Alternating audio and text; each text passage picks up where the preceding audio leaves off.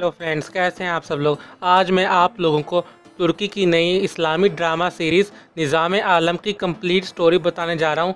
तो चलिए अब हम ये वीडियो स्टार्ट करते हैं।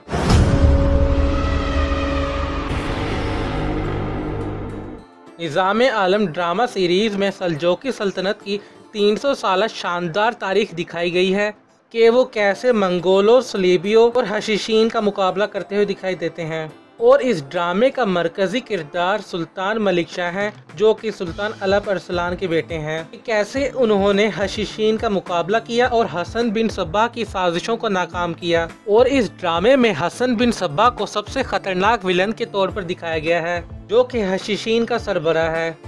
और हसन बिन सब्बा के बारे में दिखाया गया है कि वो अपने किला मलिकुल मौत में उसने एक ग्रोह हशीशीन बनाया हुआ था, जो कि उसके लिए मर मिटने के लिए तैयार था, और जो वो उसको हुक्म देता उस ग्रुप को तो वो ग्रुप उसका हुक्म पूरा करता। और इस ड्रामे की स्टोरी में दिखाया गया है कि सुल्तान मलिक शाह बहुत बहादुरी से हसन बिन सबा का मुकाबला करते, लेकिन आखिर में हशीशीन और हसन बिन सबा की साजिशों की वजह से वो शहीद हो जाते। लेकिन उन्होंने फिर भी उसकी साजिशों का अपने आखिरी वक्त तक मुकाबला किया। ये ड्रामा सीरीज़ जल्द ही तुर्की के चैनल टी आर टी पर निशर होने वाली है और ये कहा जा रहा है कि ये ड्रामा सीरीज़ रिलीज़ और तुरल से भी ज़्यादा बेहतरीन होगी। तो दोस्तों, ये थी निज़ाम आलम ड्रामा की स्टोरी। अगर आप लोगों को मेरी ये वीडियो पसंद आई है तो इस वीडियो को ज़रूर लाइक करना और चैनल को भी ज़रूर सब्सक्राइब करना तो ओके, बाय।